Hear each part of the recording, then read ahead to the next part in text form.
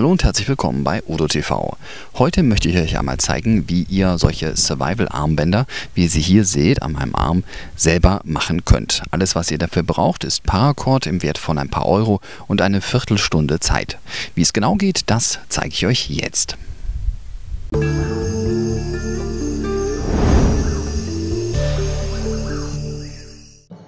Zunächst einmal benötigen wir zwei Stücke Paracord.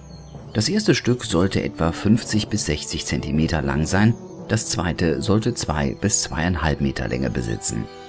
Wenn ihr ein zweifarbiges Armband knüpfen wollt, nehmt ihr zwei Stücke a 1 Meter bis 1,20 Meter und verbindet die Enden durch Erhitzen. Nun nehmen wir uns das erste kürzere Stück und verknoten die beiden losen Enden. Wir nutzen hier zur Demonstration einen einfachen Sackstich, wer will kann hier aber auch einen Zierknoten knüpfen. Das kurze Stück dient als Träger für das längere und wird zum Verschließen des Armbandes genutzt. Es sollte locker um euer Handgelenk passen.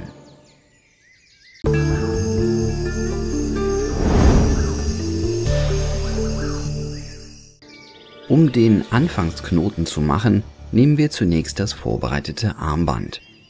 Dann legen wir die Mitte des langen Paracord-Stückes unter die Schlaufe des Armbandes. Nun nehmen wir das linke grüne Teilstück und legen es über das Armband. Als nächstes legen wir das schwarze rechte Teilstück über das Ende des grünen Seilendes und führen es unter dem Armband entlang. Zu guter Letzt wird es über die Schlaufe des grünen Teilstücks gelegt. Dann vorsichtig zusammenziehen. Wenn ihr alles richtig gemacht habt, dann muss euer Anfang nun so aussehen. Achtet darauf, dass die Mitte des zweifarbigen Bandes auch genau in der Mitte bleibt und zieht dann vollständig zusammen. Passt nun die Position so an, dass oben eine Schlaufe von etwa 2 cm Länge bleibt.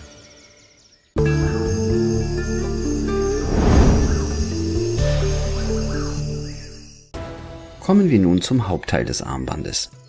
Wir nehmen uns als erstes rechts das grüne Teilstück und legen damit ein umgedrehtes S.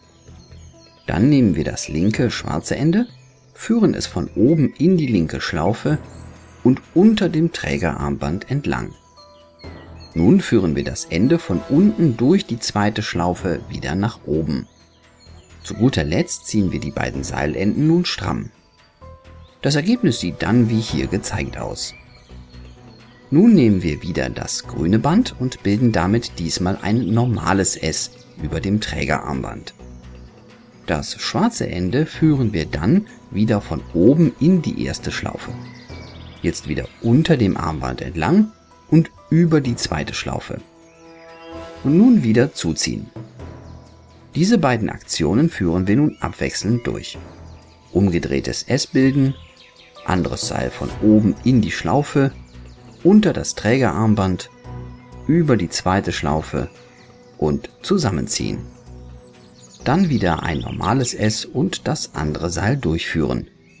Dies macht ihr immer weiter, bis ihr euch dem Endknoten des Trägerarmbandes nähert.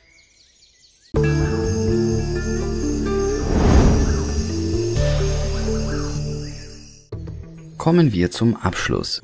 Wenn ihr bis jetzt alles richtig gemacht habt, dann sollte euer Armband nun in etwa so aussehen wie hier gezeigt. Seid ihr am Ende angekommen, so zieht ihr den letzten Knoten besonders fest zusammen. Dann nehmt ihr euch eine Schere und schneidet übrig gebliebenes Paracord-Seil einfach ab. Erhitzt nun die beiden Enden über einer Flamme und drückt sie dann zusammen. Die zusammengeschmolzenen Enden verhindern ein Lösen und damit ist unser Paracord Survival Armband dann fertig. Es wiegt gerade einmal 16 Gramm und bietet im Notfall über 2 Meter vollwertigen Paracord. Trennt man die siebenadrige Seele aus dem Seil, so kommt man locker auf über 15 Meter Seil.